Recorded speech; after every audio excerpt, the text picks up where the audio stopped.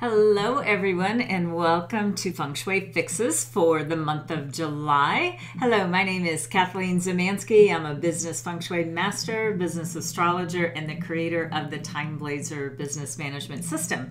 But today, what we're what we're doing is we're doing a walk around, if you will, of the compass dial, and we are looking at all the different changes that are happening. And they're in feng shui, if you have been following me for a while or understand a little bit about classical feng shui, what we are always looking at are these wonderful moving energies where there's a lot of opportunities, but there might be some pitfalls. And today I'm going to be talking about the north, and because of the combination of the flying star of the annual, the flying star of the month and the feng shui, the annual feng shui of the month, we may be a little bit cautious about using the north. So let's get started and we'll talk about how I can help you through the challenging times by making sure you use the opportune energies of each and every month.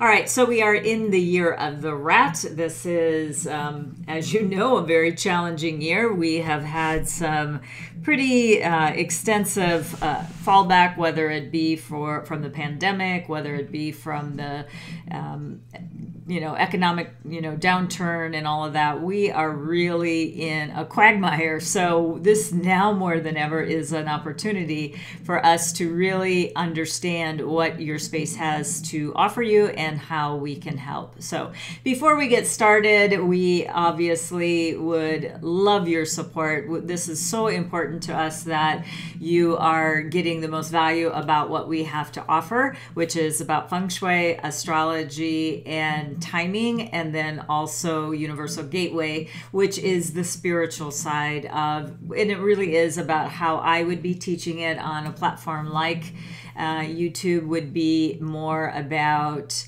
you know manifestation and how we can bring some balance in this very chaotic time in our life. But I do have some solutions for you. So, um, what we'd love for you to do is we would love for you to s- simply click below and subscribe to our channel if you are new to us. Then comment like and share. So when you share and help us this is going to be our guerrilla marketing because you're going to be helping us out and we do sincerely appreciate that. And then of course ring that bell. Any notifications that would be coming your way of obviously you want to be on top of them. And here is a big distinction about potentially other videos that you're watching on youtube this is a system that needs you to act now. If you really are one of those t- people that wants to move forward in this chaotic time where there's tons of opportunities, obviously, you are going to have to take action. This is a very time sensitive video. So if you wait just about a week or so, this energy is going to be into something else, which we'll talk about next month. But I want you to really stay on top of. So it's not a listen later. Don't hit the save for watch later because you may miss the opportunities. And I want you to really be able to make the most out of what we are offering here. Okay?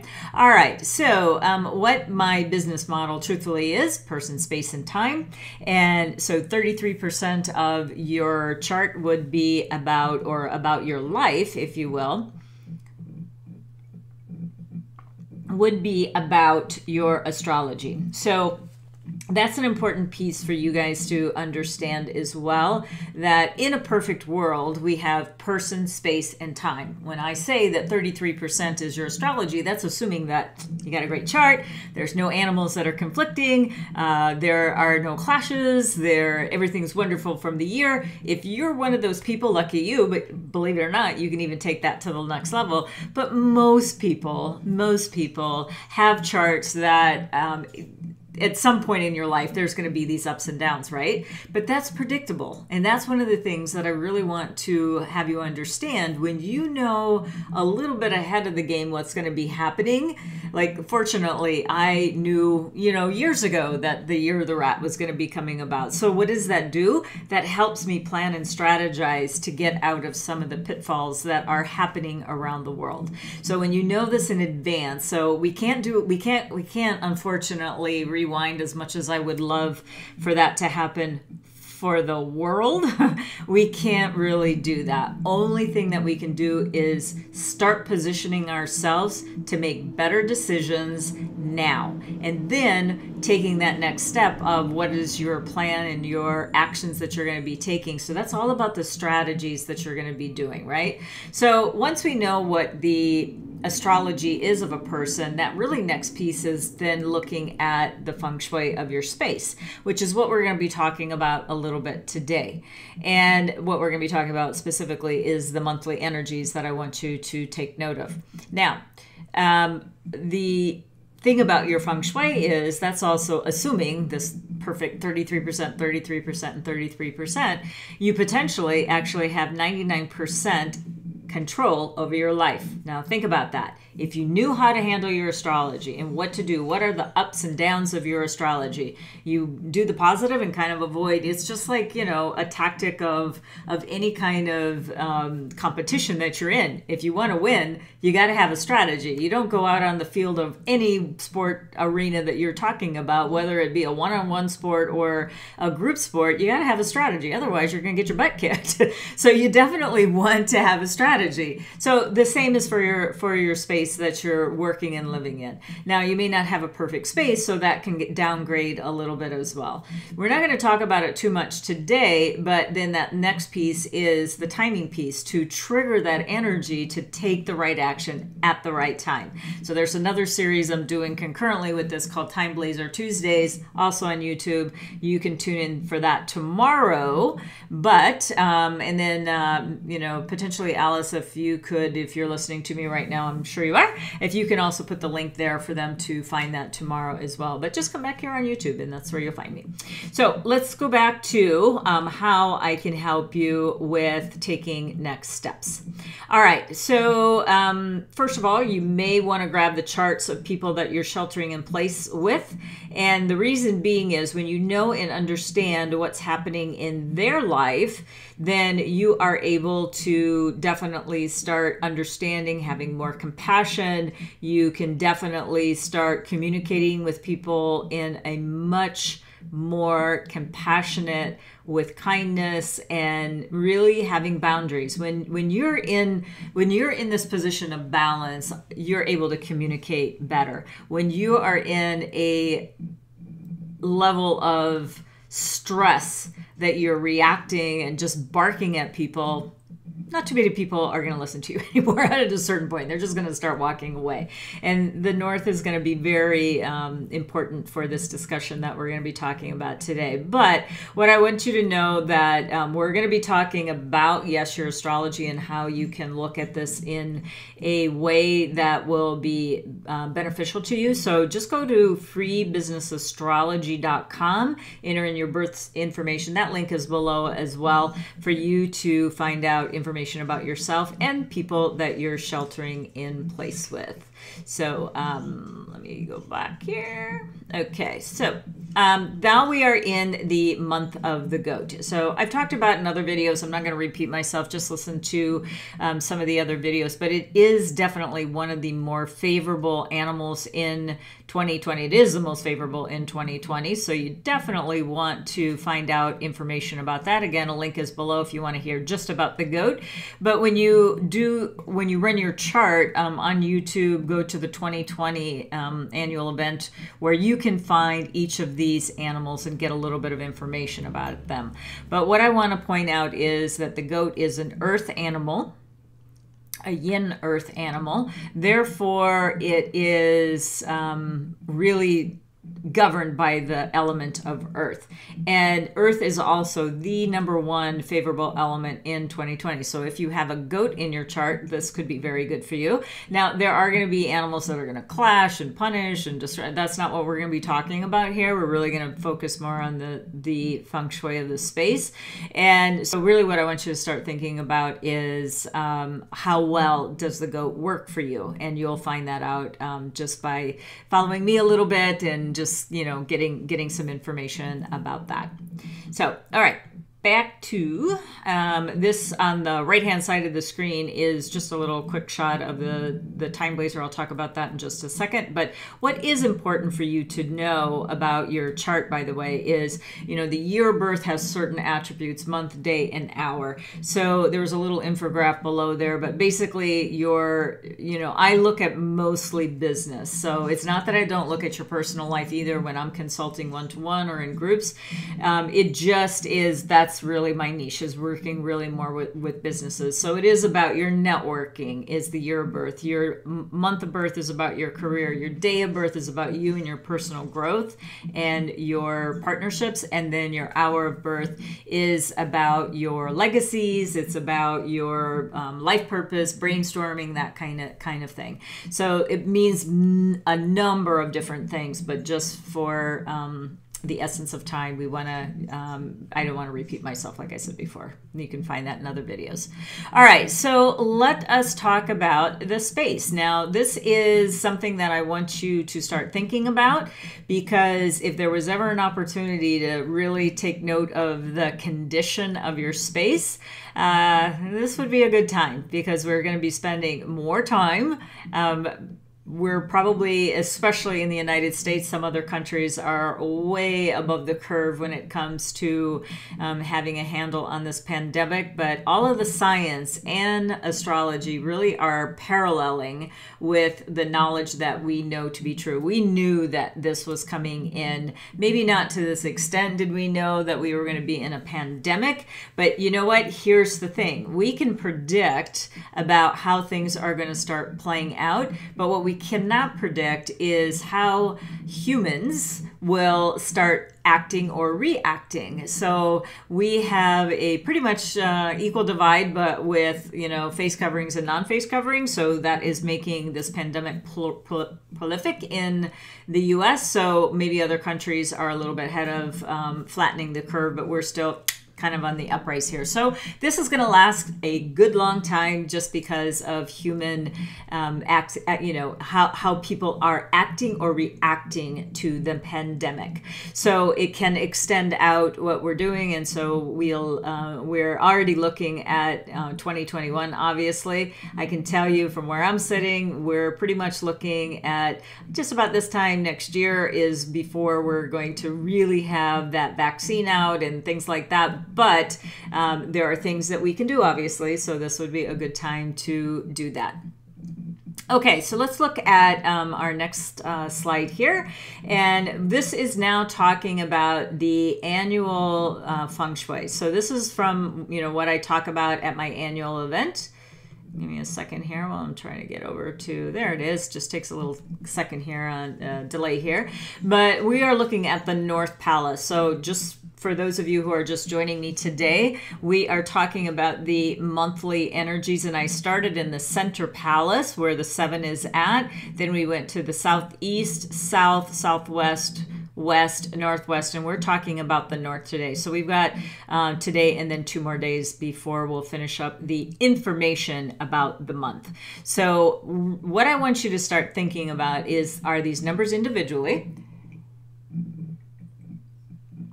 And then these numbers together eh, from the monthly. So in the north, what we have is the three. And typically the three means arguments. So we can have communications, obviously, but when we already have it positioned where we know that arguments can happen, that's when we really start need to start watching our communication. So let's see what happens when we add in the next piece that we're going to be talking about, and that's adding in the monthly. Now, I want you to take note that um, the monthly energies um, on the right hand side on all of these numbers, I am going to be talking about the annual energies, and the left hand number, in this case the 8, this is going to be the monthly. Now, again, this is going to expire on August the 6th, and August the 7th, we'll have a whole new flying star pattern that is going to come into play. But when you start adding these two numbers together, this is really what we need to start thinking about. Now, the first thing I want you to um, think about is this combination is about your mouth. So we really, really, really need to start um, watching if you're using the north. And here's like here is um, something before I even get into this information.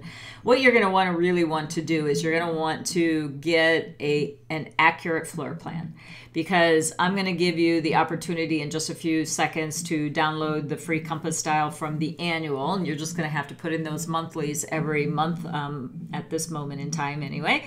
So basically, what you want to do is you want to start looking at what is available in your space. So every year we have opportunities and we have obstacles. If you put your body, use that area you know, do a little bit of work there. I've been showing this the whole time that we've been on, but you know, these little puppies are computers. So for for anyone to tell me I can't and you can't take this and go into another position, you're telling me you won't because there's a lot that you can do by ju- even if you're having one room that you're working with, you can move your body for an hour a day or whatever to get into that vibration. Conversely, when the energy is negative, just avoid it. So, we're going to eliminate in this particular series the need for you to do feng shui activations, which is a very wonderful thing to do. But I get that all of you may not be quite ready for that level yet.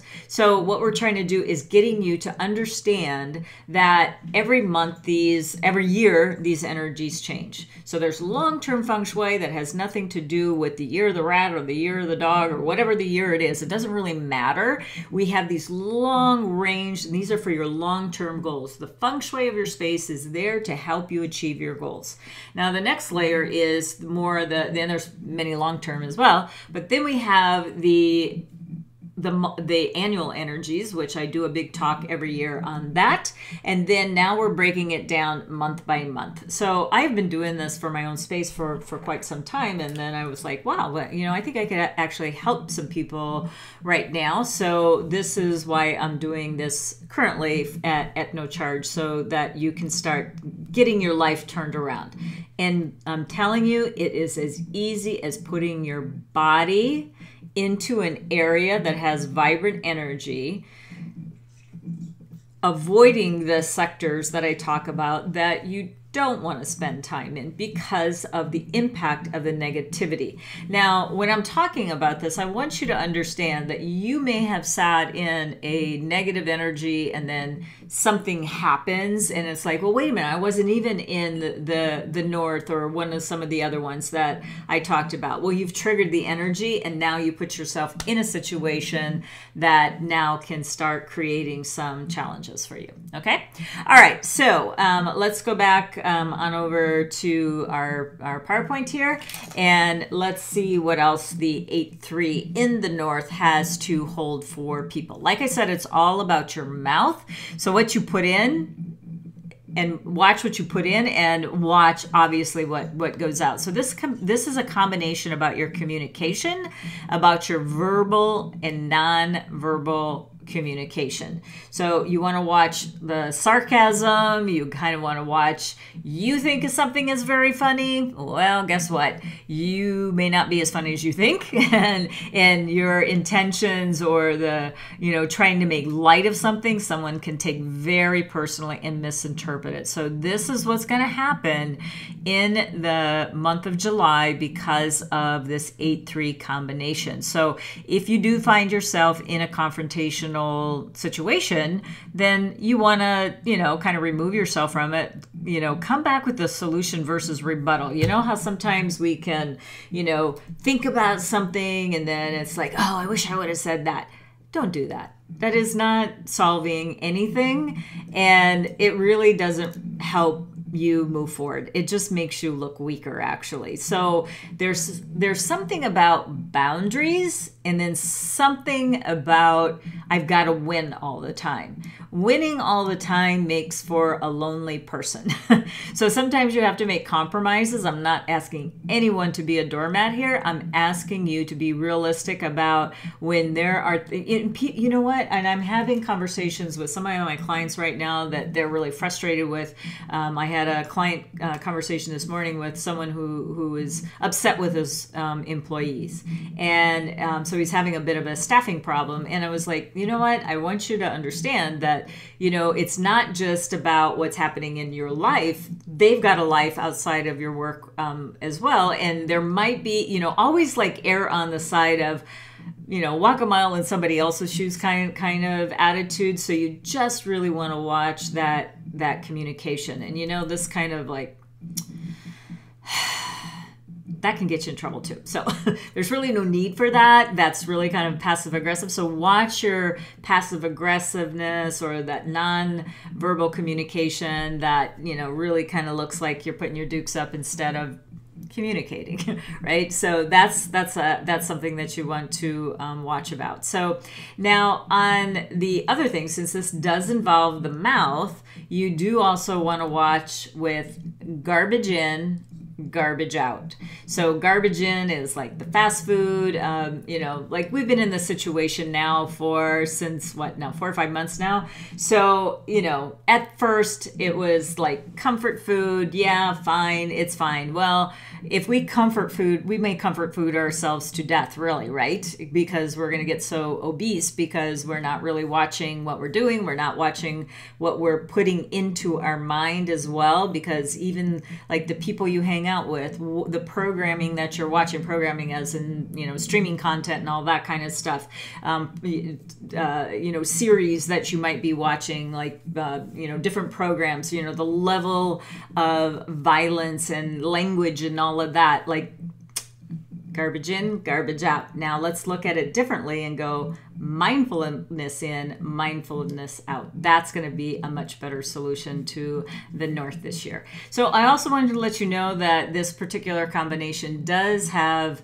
a really nice um, balance as well. And it is also about nourishing your soul. So this is about nourishment. So, you know, we really do have a opportunity to really make some nice things happen this month. But for the most part, we do have to watch what's going going on as far as communications is uh, is concerned. So um, now I uh, just want to do just a little recap of, of the you know what we can expect in the north. So what I've done is I've tried to find some icons just to help you a little bit on looking at what is available. So again, this is very much concerning the mouth. The reason I left it um, blue over red, blue being positive, the red being negative, is that we have a choice of how we open our mouth and how we use it. But we can pretty much um, kind of bank on, if you will, that it is going to be a bit of a challenge this month in the north. So, you know, as I would be setting up my space, even if you don't have these last two pieces of information, go hang out in the southeast. We know that it's great for money, great for partnerships, great for property. We know the southeast is very good, and we know that the northwest is very good. Then we have this kind of mixed bag. If you have only one um, icon red in there, you know, I'm okay with that. You know, just kind of understand that there's potential of things going up or down. So um, just go where mostly positive energy is at, and you're going to have, you're going to even feel better. I'm telling you, you're going to feel less burnt out being in positive energy than when you are in draining energy. Just think about it. When you're in a conversation with somebody and you're happy and it, it lifts you up, right? When you're in a conversation, that just drags the energy and it's just like the energy vampires just you know just suck that out of you how can that be fun and and and and lift your spirits right? So we want to we want to start thinking about that as well. So be in areas that that can help you. All right i want to show you these two dials that i want to um, let you have access to. One is the annual Flying Star. So this is where your floor plan is going to become important, where you're going to want to put this floor plan over your, this compass dial, excuse me, over your accurate floor plan. Again, that link is below. And we are talking about the north. And so that's at the bottom of the, the screen right now. But I also want you to take note of this particular dial, which is in our packet that I'm giving um, away as well for free. And so basically, the north you can see anytime it's the year of then we're going to see the red we're going to see the red show up.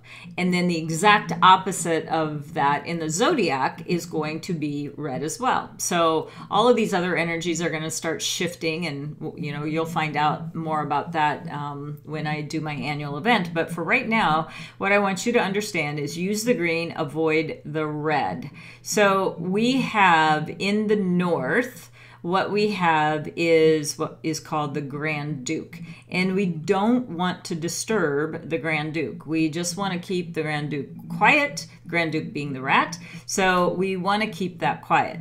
So um, for example, when I was talking about when I was talking about certain animals in your chart, if you have a horse in your chart, the the rat is already going to give you a bit of a trying time. So you, if you have a horse in your chart, you probably don't want to spend a lot of time in that area. But now we're interfacing the 8-3, which we know is about you know, being a little bit mouthy, sarcastic. There's just like, you know, that little bit of a edge that will not benefit you. Along with the Grand Duke, we know now that that North Sector is going to be a little bit challenging. Now, there's going to be a couple times a year where it's going to have some vibrancy where you're going to go, oh, you know, okay, maybe I will use use that area, but otherwise you're going to want to avoid it. So that's the thing I want you to be thinking about. And if you have, um, if you have, for example, a window or a door there. We want to keep this area kind of quiet in the the entire year, but this month we know that it will bring about some disputes. So do be careful about using a door or, or a window in the north if you can, if you can.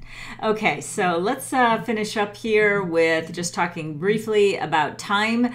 Um, that's 33%. I actually say it's much more than that because you have absolute control over any day and time that you choose to do things like product, service, and program launches. Like I said, TimeBlazr Tuesday is going to explain that a little bit more in detail. We'll do that tomorrow, and we'll talk about uh, the 28th all the way to what is that, August 3rd or something like that. So, right before we switch over to that next um, energetics of the month, but we'll talk about this um, more on TimeBlazr Tuesday tomorrow. So, um, that's what we have for you today. Again, if you can, uh, if you haven't subscribed already, and like what we are showing you here today, please go ahead and like, comment, share, and ring that bell. And we thank you so very much with all of my heart for tuning in for with us. And we would like to know how you are using these energies. So let me know what your number one issue that you are facing this year and we can probably find a solution. So if you start giving me comments now, I can uh, potentially help because I won't know everybody's chart, obviously, but we can potentially help you on which would be a better area for you to hang out in the last few weeks of this month of the goat and I look forward to seeing you tomorrow twice online one for TimeBlazr Tuesday and then for Feng Shui Fixes. So have an amazing rest of the day, and we'll see you tomorrow. Take care, everyone. Bye bye.